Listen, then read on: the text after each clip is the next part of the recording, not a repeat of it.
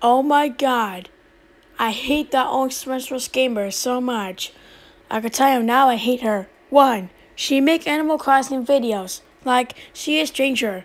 2. She make the Animal Crossing Wii and the GameCube videos. Like, what is wrong with you?